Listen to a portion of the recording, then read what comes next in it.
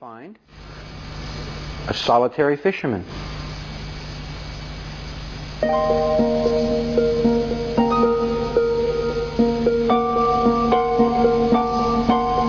A humble peasant walking through the mountains where he fits in inconspicuously, merging like a drop of water in the ocean of the Tao, the cosmic force that animates all things. Taoist, sitting in contemplation on a rocky crag in the mountains. Oops, good thing he's immortal.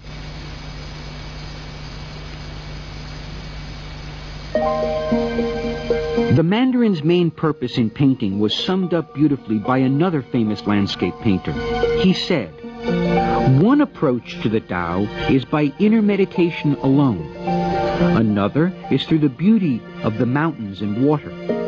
The beauty of Mount Hua, the very mystery of the dark spirit of the universe, all may be captured in a single picture. There is another reason why Chinese paintings look so unique. The subject matter. The various beautiful landscapes of China are found nowhere else in the world. Not only did Chinese artists look at the landscapes differently and use the tools of calligraphy to paint these landscapes, the landscapes themselves are different. Such as the great loess-soil central plains of China, eroded to create incredible craggy mountain peaks, or the great karst formations of the Guilin Valley along the Li River. The scholar artists developed a very sophisticated technical vocabulary of brushstrokes to describe these various landscapes of China. Early in the 10th and 11th centuries, the great masters of landscape painting would paint the craggy holy mountains of northwestern China. To paint the surfaces of boulders and mountain faces of Mount Hua, Fan Kuan used the raindrop texture stroke to convey the impression of a mountain worn by thousands of years of wind and rain. The artist, Guo Xi, created the cloud-top texturing effect that captures the nature of the misty mountain landscapes of central China. Chinese artists represented these different environments by creating new brushstrokes and formats to describe their new surroundings. In the year 1127, Tartars from the north attacked and overran the Chinese capital at Kaifeng and destroyed the Imperial Painting Academy. Over 6,000 paintings, masterpieces all, were destroyed.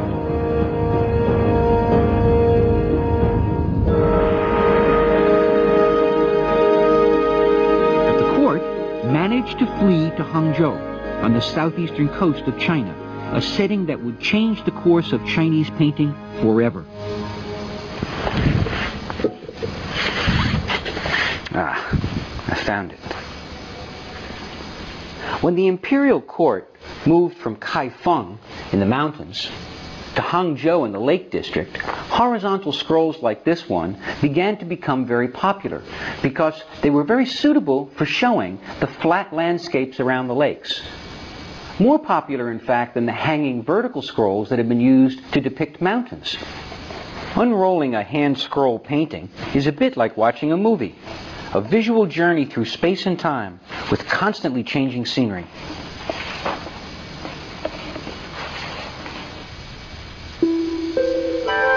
The moody scenery around Hangzhou inspired the scholar Xia Gui to paint pure and remote view of stream and hills.